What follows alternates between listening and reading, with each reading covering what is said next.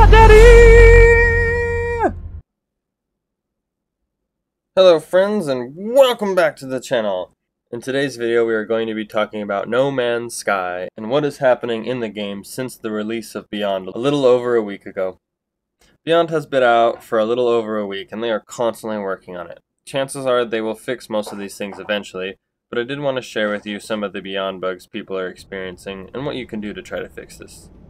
Hopefully some of the methods I share with you today can help you to fix some of the bugs that you're experiencing.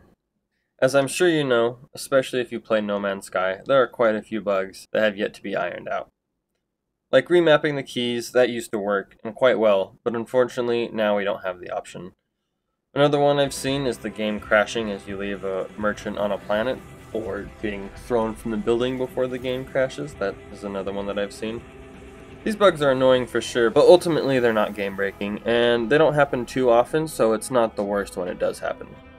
But there are three bigger issues I would like to bring up and go over. They are the Nexus and the issues landing and loading into there, your base and what to do if you are now a guest at your own base, and lastly, your freighter. Some people have reported theirs has just disappeared entirely, so I'd like to cover these issues and hopefully help a few people out. Let's start off with the Nexus inside the space anomaly.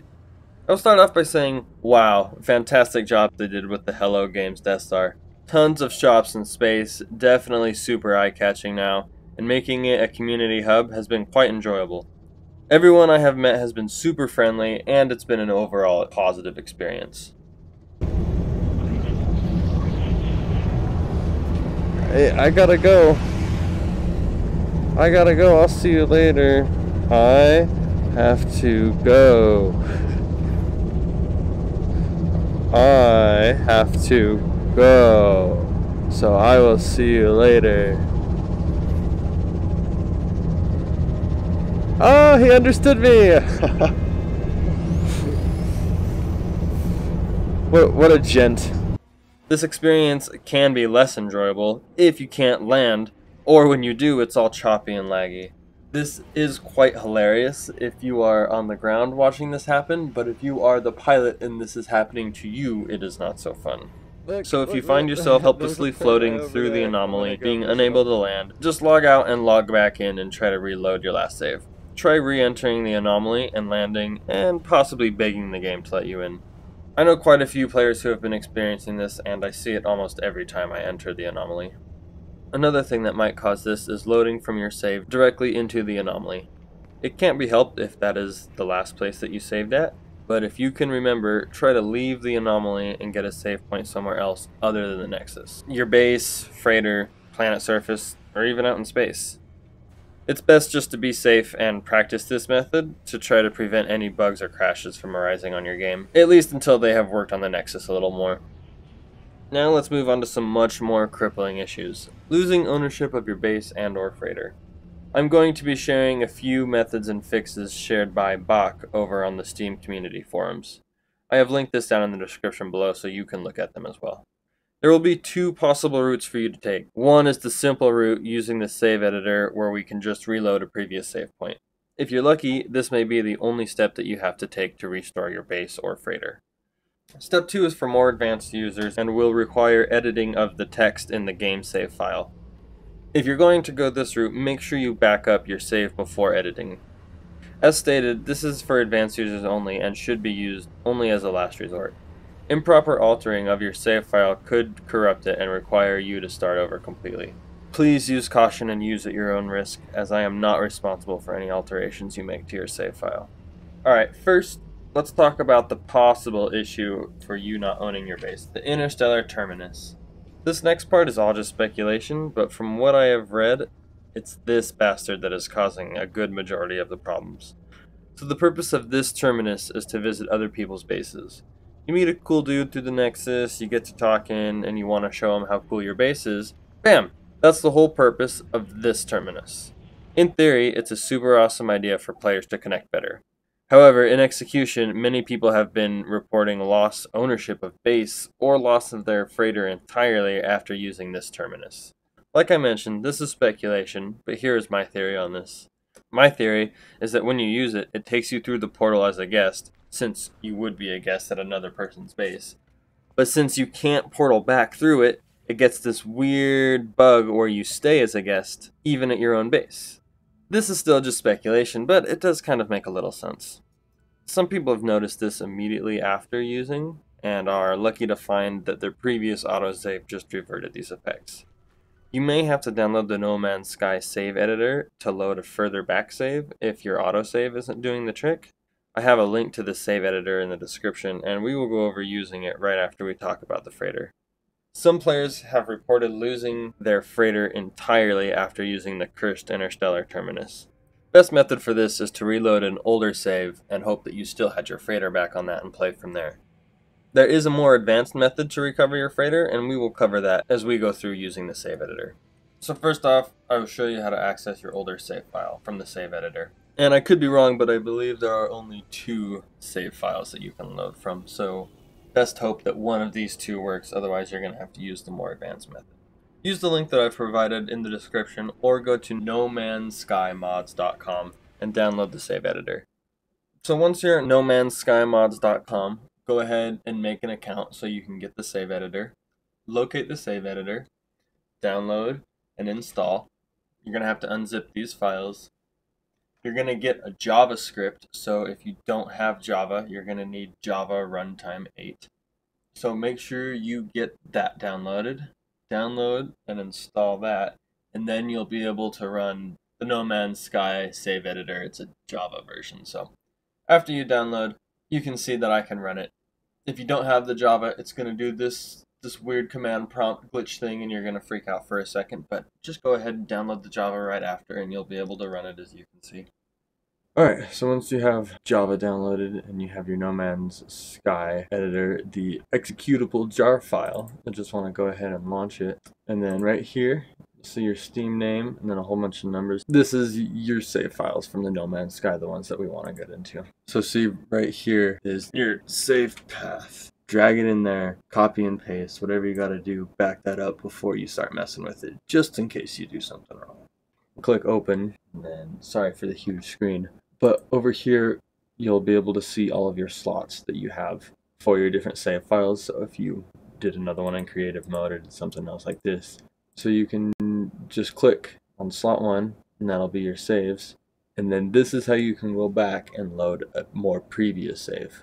So if it's not, if the auto save isn't working, I believe it holds just one more save before it and go ahead and give this a try. You hop in and it has the save file and that doesn't work, then go ahead. Click on save two, click save changes, and then you should be go. That should be how you revert back to the previous save and hopefully that will fix any issues you're having with your stuff not being your own. Here's what we'll want to do if we want to do the more advanced method of the save.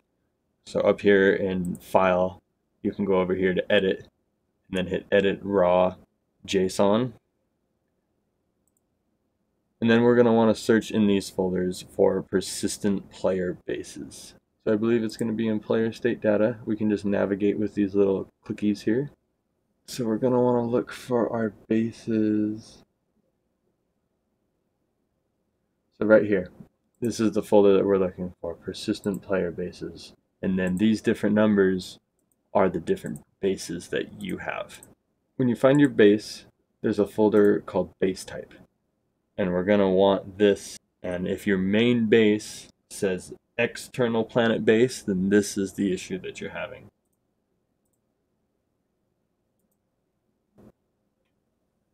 external planet. So if you see if you see it looking like this, external planet base, just go ahead and change that to home planet base. And then make sure you click save when you're done. And then that should hopefully make it so your base that you are a guest at now is back to being your base.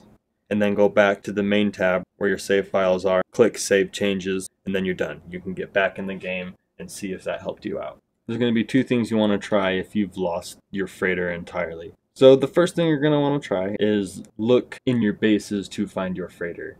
So I think mine is under number one. When I click base type, it says persistent base type freighter base. If yours just shows two quotation things, uh, I'll post a picture of what it looks like. If it just looks like it shows two sets of quotations, then you're to need to change it. See how mine is just persistent base types freighter base? Just change it right to something like that. So in the same places that your bases are stored, you might be able to find your lost freighter. Just look around. Mine was number one. When I click on base type, it says freighter base. But if you just see it having two quotation marks or also nothing, then this is your freighter base. So we can just change it to a name like this persistent base types freighter base. So the second part to the freighter fix that has had the most success is going to be this next part that I'm going to line out. So definitely try this first step of looking in your main bases to try and find your freighter. See if you can change it that way and get that to work. If that doesn't work, then we're going to want to go to edit and we'll, we'll still stay in this, this player state data. But then we're going to look for current freighter. So we're going to scroll down till we see current freighter. And then under the file name, you're going to want to change it to this. I was lucky enough to not have my freighter disappear, but this is what mine looks like in my file name. So go in your current freighter file name and then make sure that it has this text in here.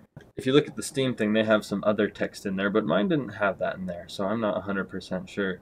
But he also stated in here that this is just for your generic ship and not a capital one. And if you did have a capital ship just right after industrial, it'd be industrial slash capital freighter as as it is in, in that post right there. You can go check it out. But mine was just the industrial, so this is the only one I can confirm. Once you get it like this and like that, then click save changes, and then that's it you should be all taken care of. This fix has helped quite a few people, but it might not be the fix that's perfect and takes care of everything for you, but hopefully it should at least help, or it gives you a route to try before you give up and start over.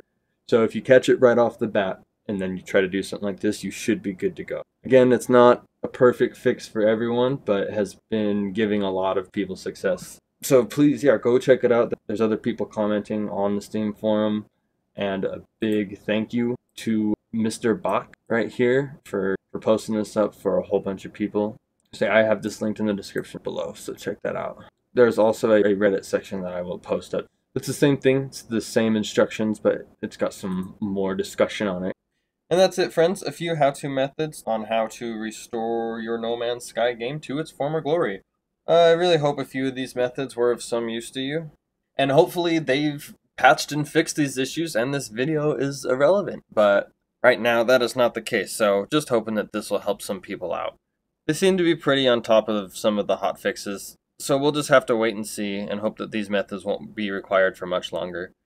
A big shout out to Back or Bach on the Steam forums for posting this helpful information for a bunch of people to use. Click the link below to check it out, and you can also see a few other people who have got it to work successfully.